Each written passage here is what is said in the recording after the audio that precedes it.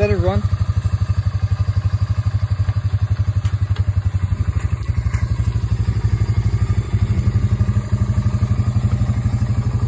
you turn on the lights?